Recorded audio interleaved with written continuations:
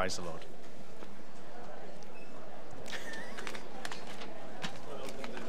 Sorry? I was going to do that myself. Give you time to get ready.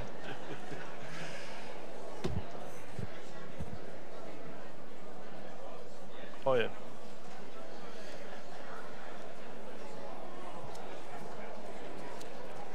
Did you want a chorus?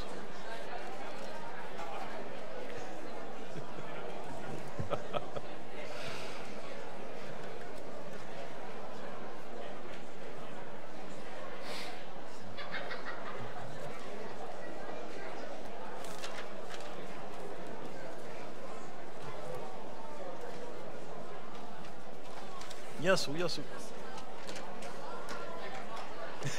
yeah, need it. Hey?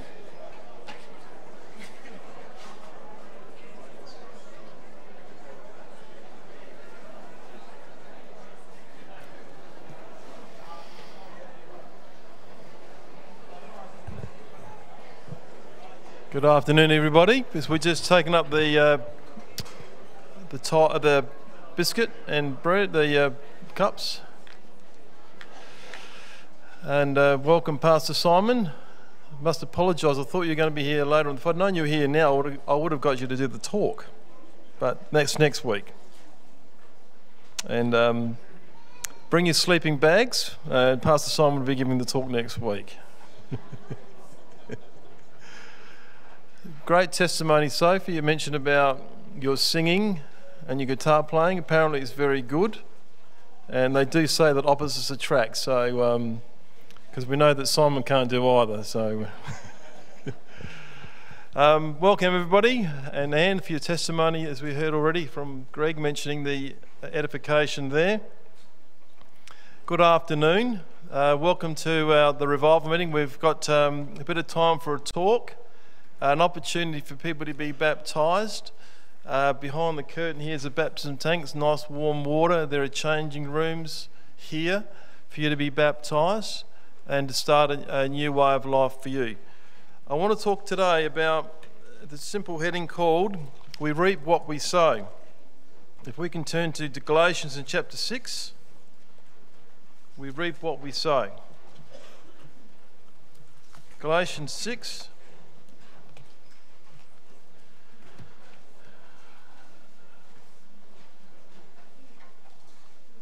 Um, I'm no gardener, that's for sure, but um, I lived down at McLaren Flat for a number of years, and they used to have the Almond Fest or the Almond Blossom Fest down uh, down towards the south when there was a lot of almond trees.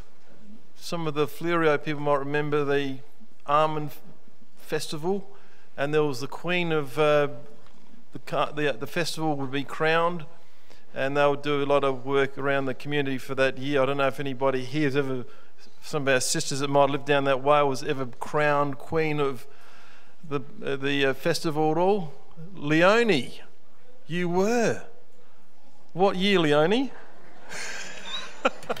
Let's give Leonie a clap. Yeah. What year was that, Leonie? 76. Wow. So we can get photos and we can show it next week, no problem at all. We can arrange that. So, celebration of the almond festival and the blossoming of the of the almond tree. Uh, there's a lot of vines now down there at this stage. You know, things are being pulled up.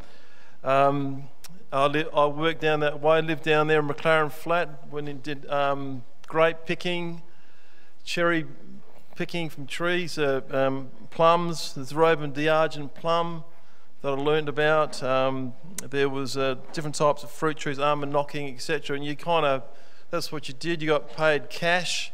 Um, I wasn't working. Uh, I grew marijuana plants, if you'd like to know. There you go, my confession. um, so there was one that called Martha, a very big plant. Just let to share, share that with you. Um, other than that, I'm no real gardener, but we know what the Bible says about um, reaping and sowing, which is the talk here today. So uh, in verse 6 or 7 of chapter 6 Be not deceived, God is not mocked. God um, doesn't like to be conned. That's what is the word here, mock. He doesn't like to deal with pretense, where people are pretending. So, Paul writing here saying, look, don't play the game. God won't like that. Um, whatsoever man sows, whatever he puts in, whatever seed he applies to his life, and this is an attitudinal thing, a doing thing. Whatever you do, uh, whatever thoughts you have that become an action in your life, um, he's saying here, that shall he also reap. That'll be uh, the, the, gathering of your fruit, as we heard from the almond knocking in the different seasons that we have. He that sows to the flesh shall of the flesh reap corruption. The word corruption there means uh, decay, uh, waste. It also means, metaphorically speaking, it's talking about sorrow and despair, unhappiness that you reap when you apply your life to the flesh. But he that sows to the Spirit shall of the Spirit everlasting life. Now, the context the Galatian, they were getting involved in the law, and Paul was trying to remind them, we've already heard from Greg here today, that the blood of Jesus Christ, his sacrifice, is the thing that's made us free and has given us our salvation. So we're now free because of that. And it was grace that acquired that nothing of our own. We could do nothing of ourselves. We were unable to uh, find ourselves in a position favourable with God in the things that we're doing in our own natural state. So, Galatians was a church moving back toward the law. Paul wrote earlier on that he was, he was a bit astonished at how quickly and how suddenly they'd been removed from the grace and from the gospel that had been presented to them to another, which was not another. And he's quick to say here that the law, which sort of kept our flesh under control, was not going to be the way of salvation, but Spirit, receiving the Holy Ghost, was going to be. So the context of this was it was being liberated by the gospel message that we have here today, that we know to be true. And he says, therefore, there's a bit of a task involved to, to, to stay on that, um, not getting condemned. We heard already today not feeling like we've got to earn our stripes, and the feeling of that I'm not good enough, I'm not worthy enough, I should do more, I don't pray enough, I don't read enough, um, I don't think about the Lord enough. Um, that world of I should, I should do this, and I should do that is where the law would take us because we'd be required to do all sorts of sacrifices. And Paul was saying here that we're in, we're, we, we've been set free. We're now liberated. And we have a wonderful salvation because of that. But he also says in the next verse, Let's not be weary in well doing, for in due season we shall reap if we faint not. We're sowing to something unique. We're sowing something to the Spirit. Um, no, no other human being have ever seen that in their whole history of mankind, other than the few and when you look at the population of the world today, and when you look at the numbers of people that are receiving the Holy Ghost, even down through the age, it is a small number. The Lord said in Matthew that narrow is the way that leads to life. Few be there that find it. Broad is the way that leads to destruction, and many go thereat. When I first came to the Lord, I was at the top of the railway station in Adelaide, and um, I just within a couple of weeks and just saw people coming off the train up to work, coming up the stairs. And it just, it just see, you could see that people, the, the last thing that were on people's minds were the Lord, was the Lord. And I rang up the person that brought me to the Lord, and he quoted that scripture. He said, Yeah, you're right, Chris. Narrow is the way that leads to life, and few be there that find it. Broad is the way that leads to everlasting life. We've been given this unique ability to sow to apply our lives to something very spiritual. And as a result of that, we're going against the grain of what the world tells us to do in, by way of explaining itself in evolution, in gender issues, and all manner of things that are going on in our world today. Our understanding of what God requires mankind to do is completely different. But we're sowing, we're, we, are we are talking to people about the Lord, we're explaining things about how God works, what he does, how unique he is, how special, and how he can heal your body, set you free, and the wave, the tsunami coming back this way against what we're preaching. The Lord and Paul's saying, let's not be weary in well doing, for we will, we, we will reap if we just keep pushing forward. Let's go to 2 Corinthians in chapter 9. 2 Corinthians chapter 9.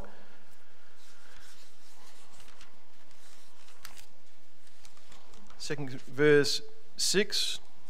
Paul writing to the church at Corinth after they had been through some issues before. They fixed themselves up. They were walking on, doing really well as a fellowship. And he said here in verse 6 But this I say, he which sows sparingly, which is just to hold back and to be stingy, the word, to abstain when you could have an opportunity that you don't, shall reap sparingly. He that sows bountifully shall also reap bountifully. Every man according to the purpose of his heart so let him give, not grudgingly of or of necessity, for God loves a cheerful giver. Um, that was Paul's message to the church at Corinth when they had been not doing everything right.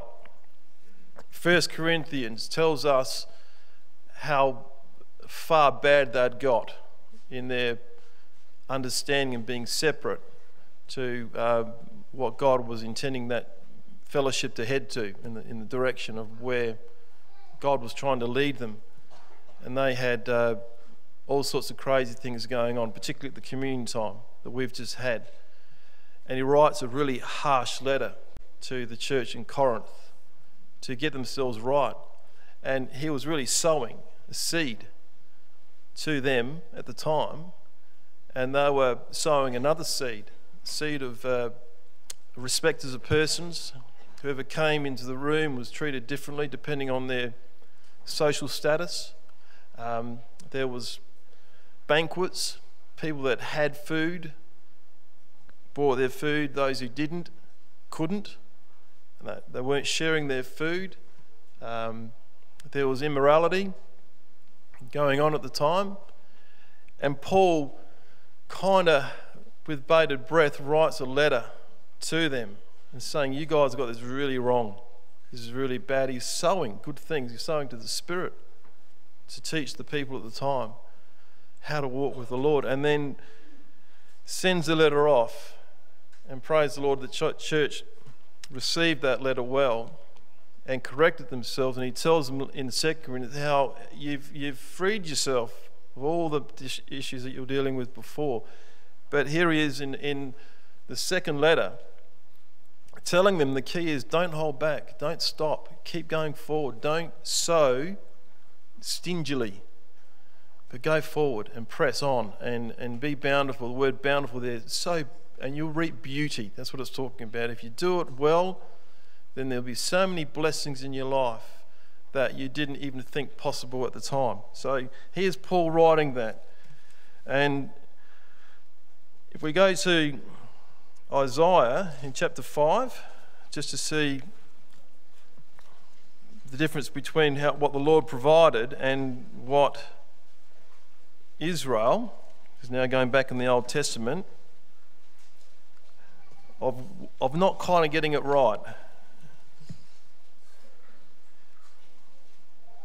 Chapter 5 in verse 1. Now I will sing unto my beloved a song of my beloved touching his vineyard. My well beloved had a vineyard in a very fruitful hill, and he fenced it and gathered out the stones thereof and planted it with the choicest of vine, and built a tower in the midst of it, and also made a wine press therein.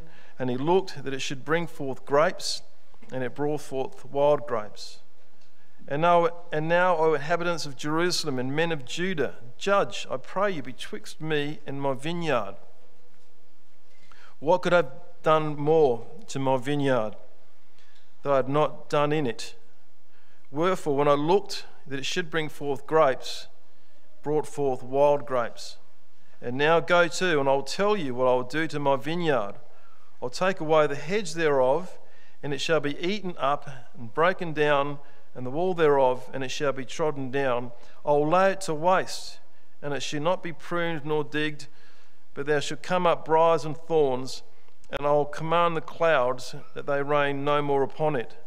For the vineyard of the Lord of hosts is the house of Israel at the time, and the men of Judah his pleasant plant. He looked for judgment, but behold, oppression, and for righteousness, but behold, a cry. And he was he is Jerusalem, the real nation of Jerusalem. This this jewel in the crown of God's plan was uh, people at the time bringing oppression to the people, and he could hear the cries of the people uh, when he was setting it up. This beautiful uh, vineyard or this vine that he talks about. And you, you, know, when you do your pruning, you do the grapes. You can. There's just a wonder when you're uh, pruning the grapes. You, you, you, you're taking the grapes off and clipping away there. There's just stacks of spiders. Um, and you're there all day clipping away, putting the grapes in boxes and then into the main uh, trailer. And it's going all over the world. It's going to be a produce, and then you prune or uh, the, the grapevine later on. And there's just a real quality about working on, on a vineyard. And here was God saying, I did everything, everything for you, Israel, or Jerusalem, Judah, and you gave me nothing back. And this message that the Lord was using, this illustration, this parable, is that, again, we, we sow, we're in the Lord, we, we plant our thoughts and our attitudes and our actions, and, and we expect in return there'll be a reaping, we'll receive something good. And the Lord was saying here, you weren't looking to me, you didn't value me as your, as your leader. That was Israel at the time. Right through the ages, God has used nature to illustrate how we can walk with God. There's a verse in the Bible in James that says, Be patient, therefore, brethren, unto the coming of the Lord. Behold, the husbandman waiteth. Husbandman is one dealing with the vineyard, waits for the precious fruit of the earth, and has long patience for it until he received the earth and the latter rain. So there's a whole process of waiting for that grape to appear. It requires good soil, uh, the sun, and rain to come at the right times. And here was God saying, as the creator of heaven and earth, I did everything for you, Israel. And yet you found it hard to come back and give praise and glory to, to, to me, the, the one who provided it all. Let's go to Galatians in chapter 5. Back to Galatians. Galatians 5.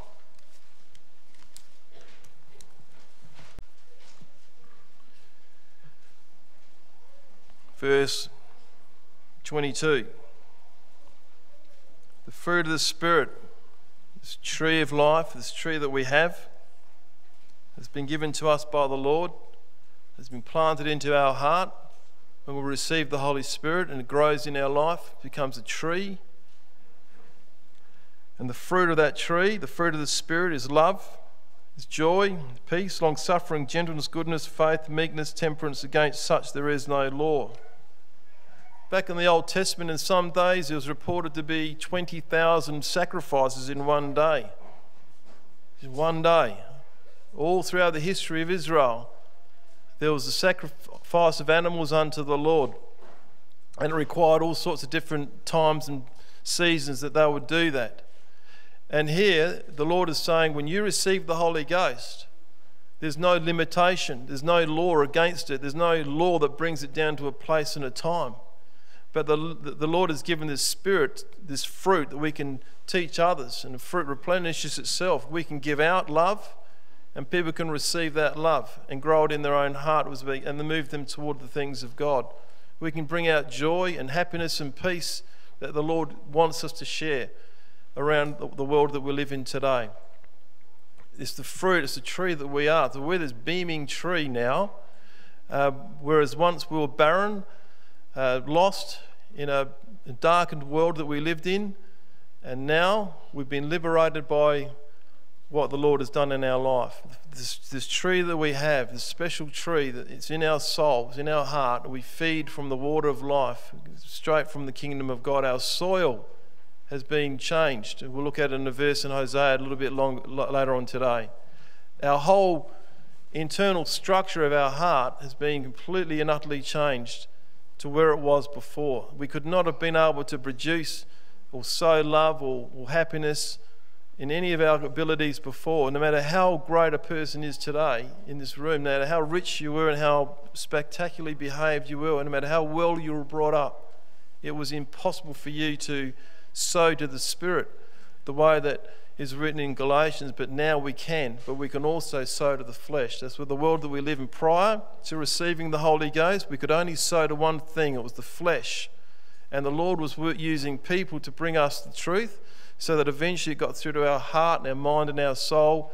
And we listened, we were baptized and filled with the Holy Ghost. And now we have this new heart, this hardened heart that was taken away from us, has now been a place whereby we have the ability to produce good soil. And without good soil, without good nutrients in the soil, without the right measure of sun and the seasons and the rain, we have no, no produce at all. We know what that's like. Many years ago, when Australia, was going through a drought, it got to a point where uh, the Prime Minister at the time was uh, John Howard I remember him telling on TV in one of the interviews, he said, We're at the point now where, I think his words were, We're at the point now where Australians need to start praying because the drought was so, so bad in Australia at the time. And we did, because a little bit later on after that, it started to rain. And our, all our, our farmers and everybody was happy. And Australia just relies so much on our agriculture, horticulture, that we know what it's like to, to um, you know, have a drought, and we know what it's like to have, uh, you know, food in abundance. We got, um, we'll just quickly go to Psalm 1, Psalm chapter 1. Psalm chapter 1.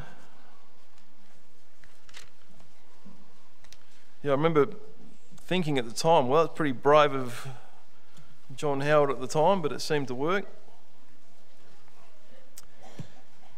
Just in line with this fruit tree that we have, he tells us here in verse 1, the start of the Psalms. Blessed is, verse 1, blessed is the man that walks not in the counsel of the ungodly, nor standeth in the way of the sinners, nor sit in the seat of the scornful. To be scornful, it tells us, is to be cynical, to be um, to have a feeling of uh, insulting behaviour, to ridicule, to um, be negative, to be suspicious. This word scornful, to laugh and deride at people who are trying to do the right thing. And the psalmist is writing here that we don't sit in those seats anymore that we may have once did, and maybe we were once one of a scornful person, a person who was conceited and um, just mocked at everything good or possible part that was well and right, and didn't believe in a good story, didn't believe in a good outcome, thought it was impossible there could, there could be a, a, a true God that would kind of work in a person's life. And the psalmist says here, we don't sit with those people anymore, but his delight is in the law of the Lord, and the Lord does meditate day and night. And when we do that, it says, He shall be like a tree planted by the rivers of water that bringeth forth his fruit in his season. His leaf shall also not wither, and whatsoever he doth, he shall prosper because we've been planted in God's garden. If we go to Proverbs chapter 11, this is where, who we are now. We couldn't do this before. Proverbs chapter 11.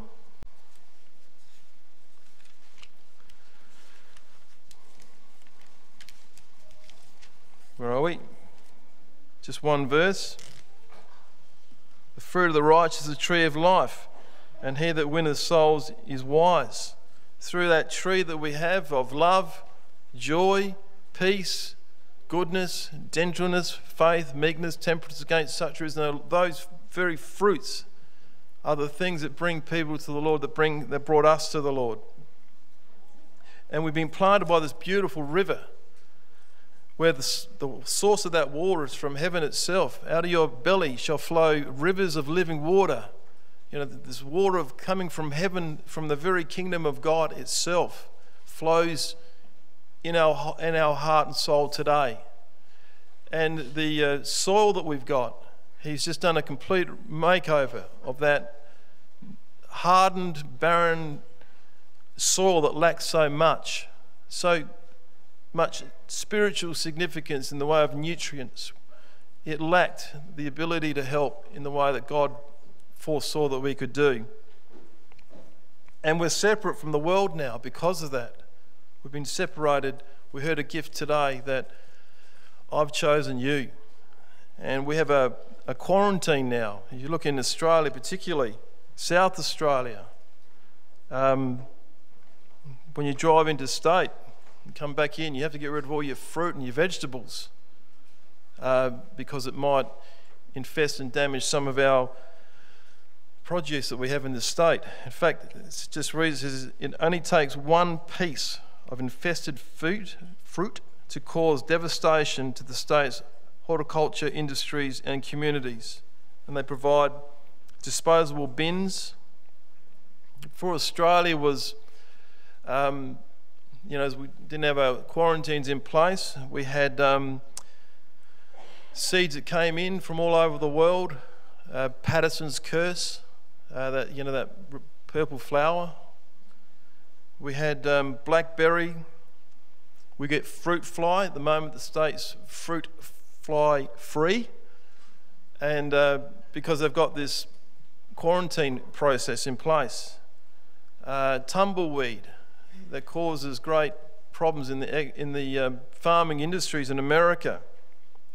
Morning glory, these really wild plants that just eat up of everything that's good of our of the local um, plantation. And a lot of these seeds came from the fleece of sheep being brought into the countries at the time. And um, just sort of thinking about that is that we're sheep, and we've got to make sure that we haven't got um, scornful seed, seeds of doubt, cynicism, critical seeds that kind of get brought up, caught up in our fleece. Uh, because we've been separated from the world and we we don't think the way that the world thinks anymore, and we're very happy to, to do that. Our quarantine processes today, we have a communion time, our uh, quarantine abilities to make sure that we're producing and that we're not going to harm a whole industry of uh, other trees in a, in, a, in a paddock, wherever it might be.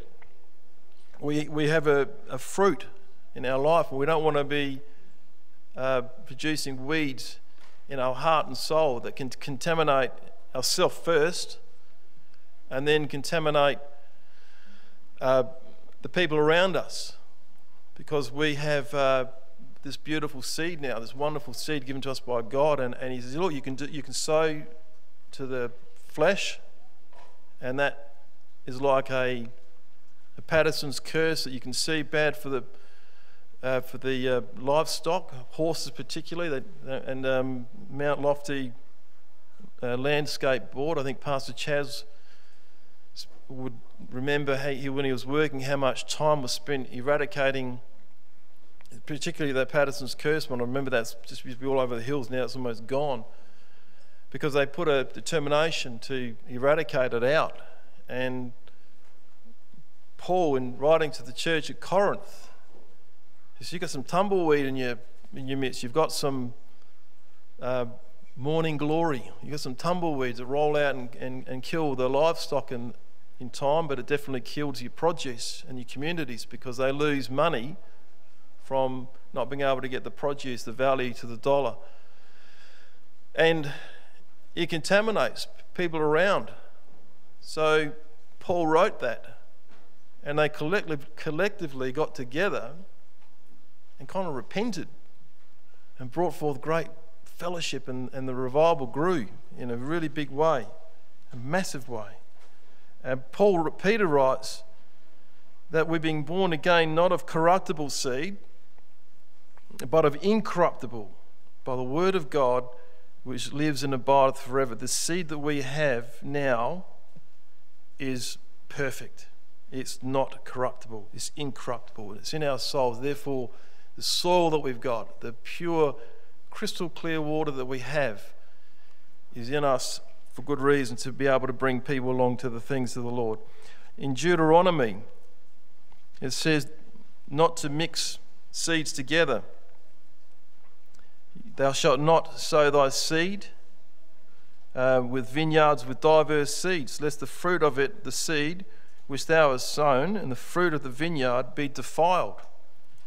In Leviticus it says, Thou shalt not um, uh, change the gender of cattle with diverse um, kind, but thou shalt not, and thou shalt not sow the field with mingled seed. So, in every aspect of what God wrote, He spoke about this purity of the nation, and when they came in to the promised land, he made sure that the produce first went to God and God was given the glory. We heard a little bit there with um, uh, Greg mentioning about the Passover. And 50 days after the Passover was what was called the Feast of, of, of, uh, of Weeks, where what we call the day of Pentecost, Pentecost. And if we can go to Acts chapter 2, part of the agriculture of Israel. And right at the beginning of the Passover, 50 days later, they had a ceremony. They had um, the Feast of Weeks. It was an expression of gratitude. We're going to Acts chapter 2. It was uh, an offering that you weren't allowed to partake of. They would make loaves from the wheat that was first the first produce of that month or that, that season, and no one was be able to take of any of the fruit of the grape or any of the different whatever that was going on at the season at the time until that was offered up to the Lord first. Then Israel could partake of that produce. But the first thing they did, Passover, 50 days later, the Feast of Weeks, or what changed to the Feast of Pentecost, was the first fruits of that year. And it was not mingled with other seeds, it was not from another nation. It was Israel's seed, planted by Israel's people, and they relied upon the Lord God, their God, to provide the weather and the seasons for them to grow their, their crops.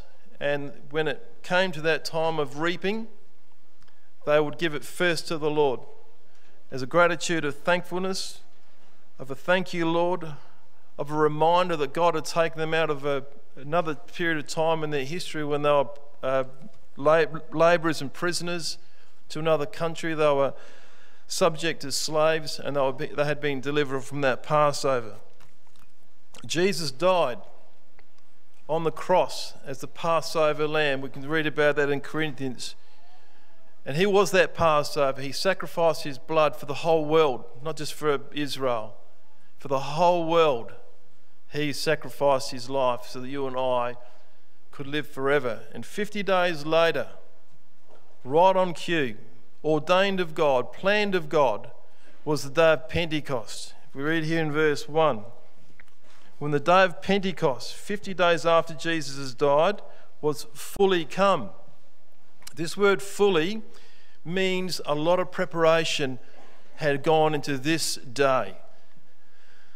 In the war, when they had D Day, when that day was fully come, it says in history books, millions and millions of dollars, several nations all over the world getting together to defeat, defeat at the time an enemy.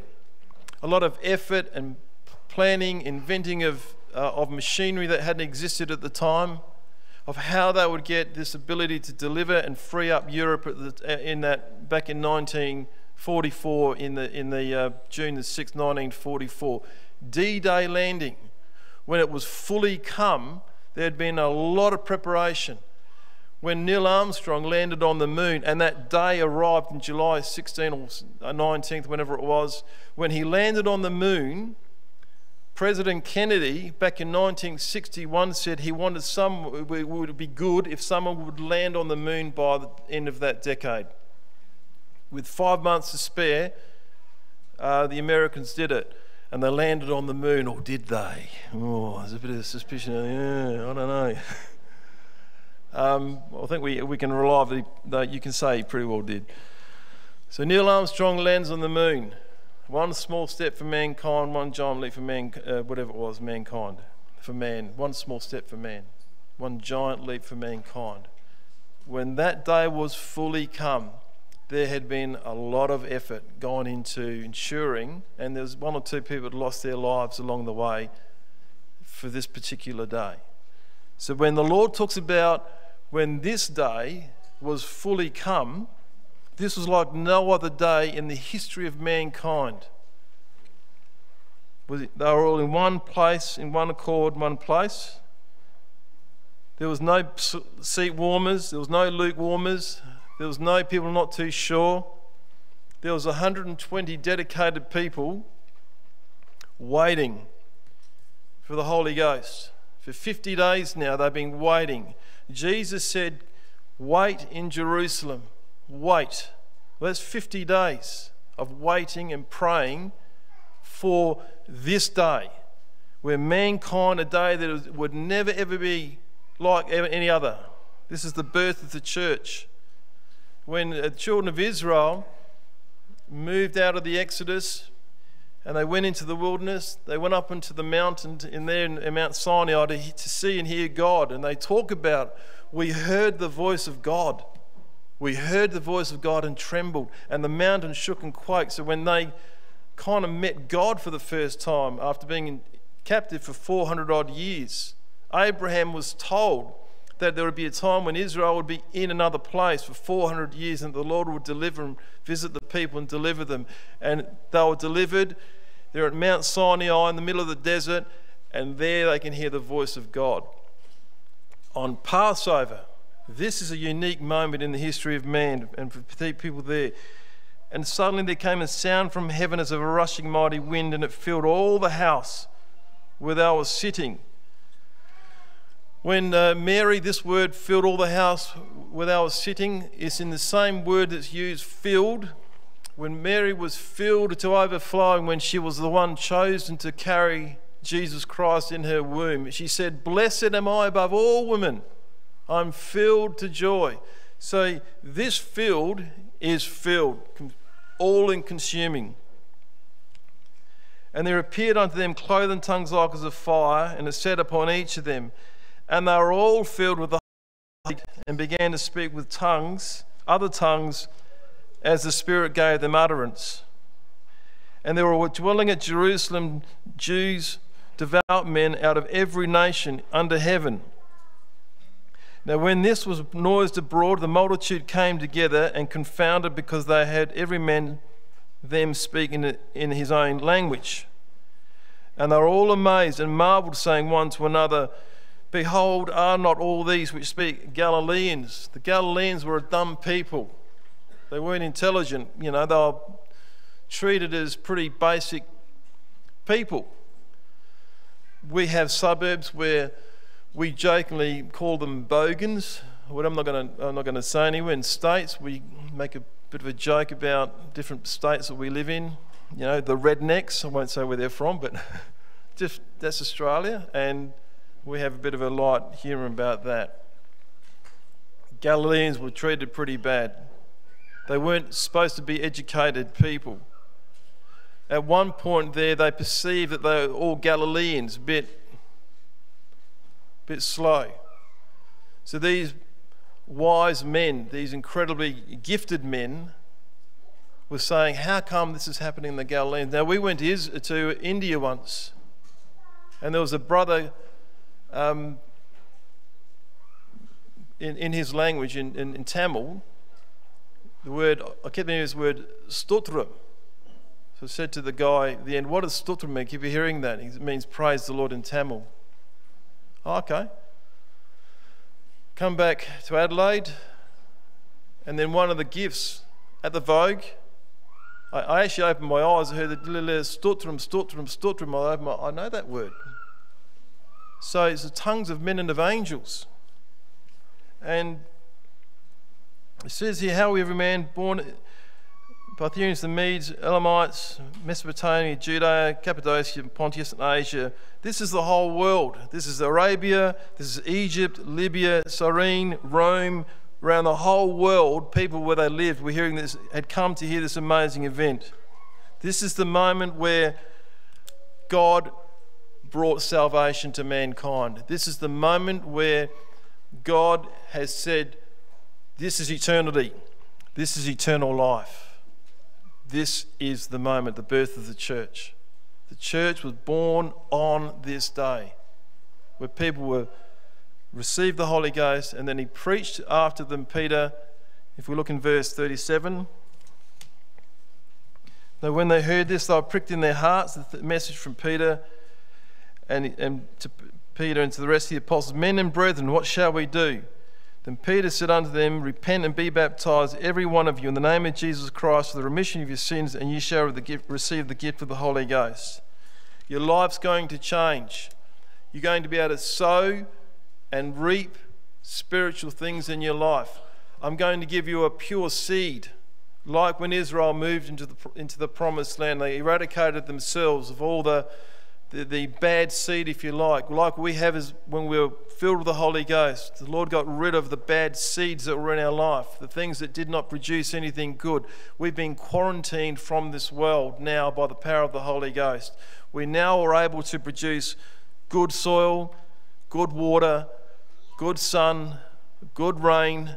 We want to be part of a latter day revival. This is the birth of the church, people receiving the Holy Ghost. And the Lord is saying to us, we got a task in front of us. It's a big task to tell people that they've got to change their the heart of flesh that they've got to a heart of spirit.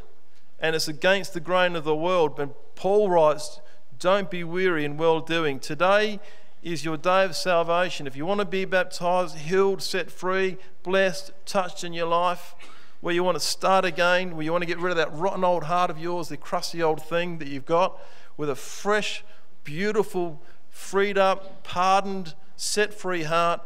This is your day. We're going to have a prayer line now. Come out to the prayer line. Come to the get baptized here today. The seed that you have in your life today, if you're not filled with the Holy Ghost, is corrupted. It can't bring you into eternal life. It can't change the soil that is in your heart. It can't change your mind. But the Spirit will do that for you. It'll change every aspect of your life. And you'll be separated and you'll have this tree of life where you'll be able to love for the first time and show joy and peace and happiness for the first time in your life, no matter what age you're at. This is the day of salvation. Your day has fully come. Come and be baptized today. And all the people said, Let's leave it there.